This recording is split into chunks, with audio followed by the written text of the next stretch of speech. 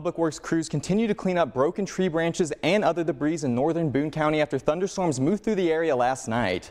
Damaging winds swept through the Hallsville and Centralia areas. KRCG 13's Mark Slavit reports the gusty winds nearly killed a man while he was sitting on his couch. Emergency officials say no one was seriously injured as the storm passed through northern Boone County. However, one Hallsville man barely survived. Started shaking, actually to, to know you, you come that close.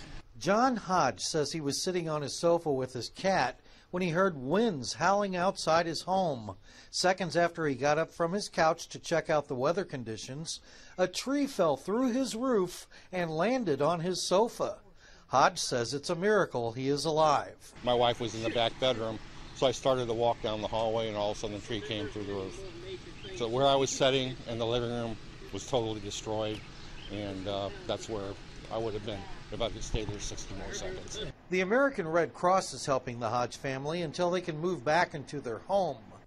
Thunderstorms caused thousands of people in northern Boone County to lose their power. Ameren Missouri crews restored power as quickly as possible. Tree limbs blocked several roads.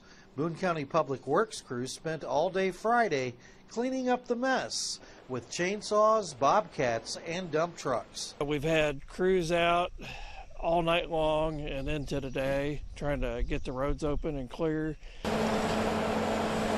Boone County emergency officials say they are working to fix some outdoor sirens that didn't sound a warning during Thursday's thunderstorm near Hallsville and Centralia. They all tested fine last Wednesday, uh, but we're going to get to the bottom of why why those weren't all activated to make sure that doesn't happen again.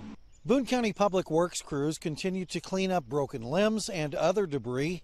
They expect to finish their work by Monday. Reporting in northern Boone County, Mark Slavit, KRCG 13.